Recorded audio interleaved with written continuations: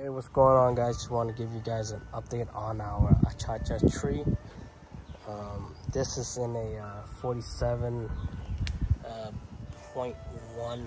gallon pot here, and this is after uh, Hurricane Ian um, pretty much killed uh, the cold frost. Actually killed uh, the top. We have to prune it, and this is all new growth right here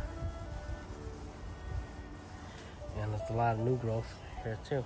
See, it's starting to show up. It looks all dried up, but you know it's still growing. See all this right here? It's all new growth.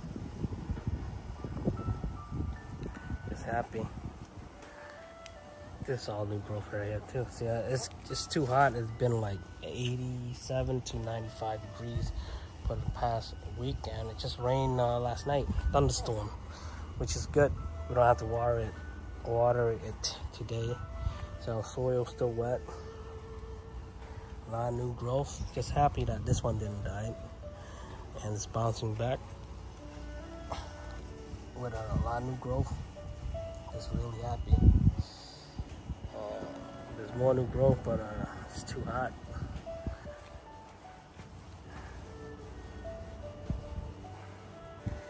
Chacha is a uh, very delicious uh, fruit.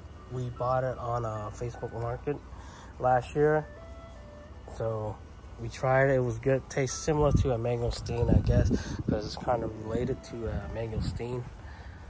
Because you can't grow mangosteen here. It's too cold. So this is your only uh, second option here. If you, you want a similar fruit as mangosteen, achacha is the way to go pretty much we mulch it for the winter. Someone helps, I guess. Uh, see a lot of new growth. Just really happy.